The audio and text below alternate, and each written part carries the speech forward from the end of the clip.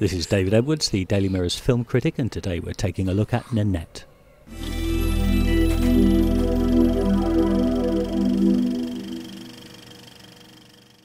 Nicolas Philibert's flawed documentary focuses on Nenette, a Borneo born orangutan who's lived at a Paris zoo for the past 37 years.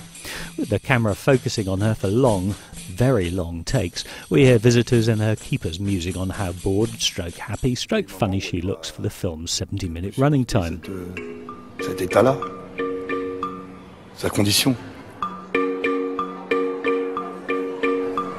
Ça lui manque peut-être euh, son pays natal. The idea, presumably, is to explore how different people react to an animal in captivity, and some questions are raised about the ethics of zoos, making for a hypnotic experience, but also one that feels a touch gimmicky. Like a student's art project, it's original and occasionally thought provoking, but hardly gripping. Three stars.